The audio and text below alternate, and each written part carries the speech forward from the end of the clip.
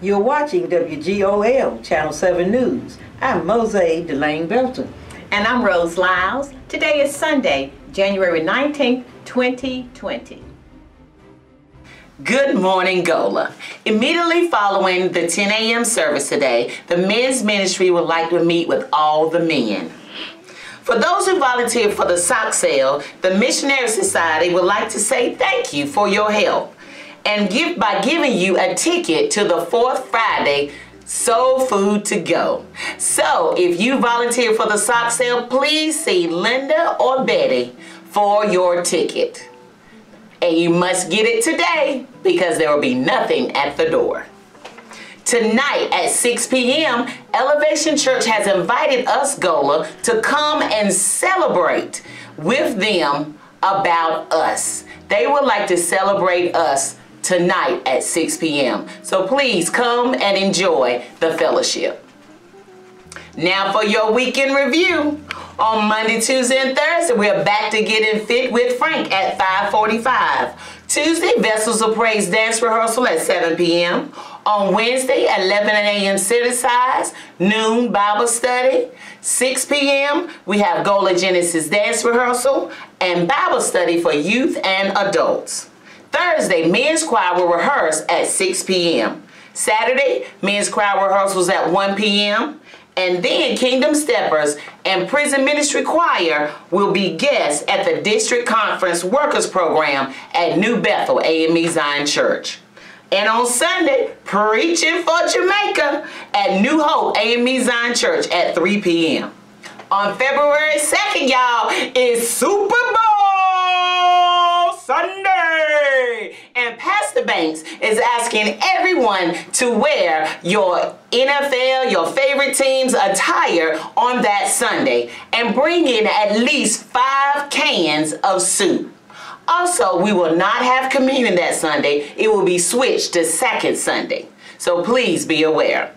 On February 8th, get ready for the Go Red fashion show and reception. So ladies, get out your fancy shoes. Men, get out those fancy suits and come on out and help us celebrate. And we, as we talk about the Heart Association and heart disease and what we can do to prevent it and what we're doing now to prevent it. On February 14th, Love is Magic, y'all. Dinner and dance. Tickets are $50 per couple. Tickets will be available next Sunday, January the 26th. So get your tickets while they last. People make resolutions to start new habits in an attempt to break old ones. Here are some healthy tips to start off your New Year's resolutions. Be realistic. Plan ahead. Reward yourself. Don't beat yourself up. Stick to it. Keep trying. These tips can not only help you with your dieting resolutions, but they can also help you with new resolutions that you want to bring in 2020. This is your healthy tip for the new year. Please stand as your name is called. Cynthia Porter. Montana Davis, and Andrew Henry. Happy birthday to you. Happy birthday to you. Happy birthday, happy birthday. Happy birthday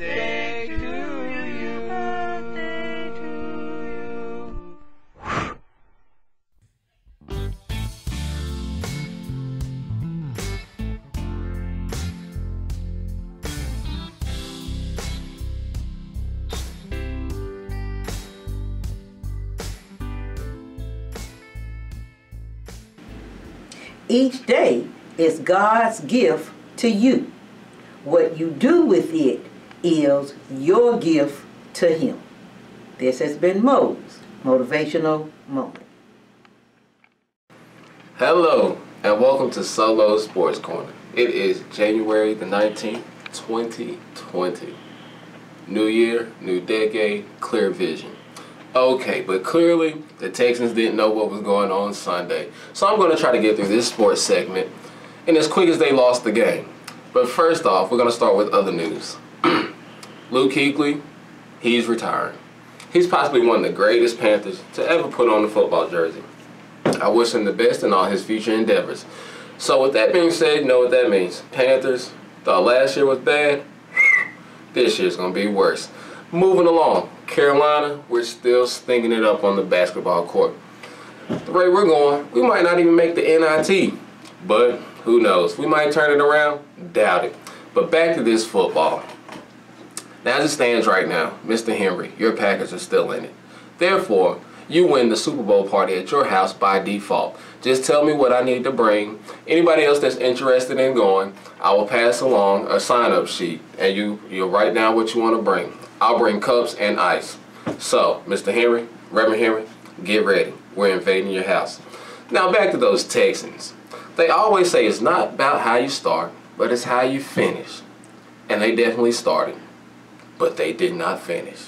They lost the game in a matter of three minutes. This segment alone is not even three minutes. I'm talking about, I promise you, I cut my TV off. I went outside. I came back. The Chiefs had the lead.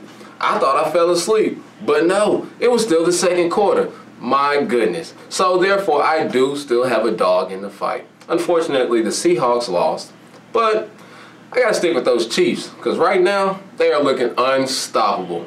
So until next week, see you later.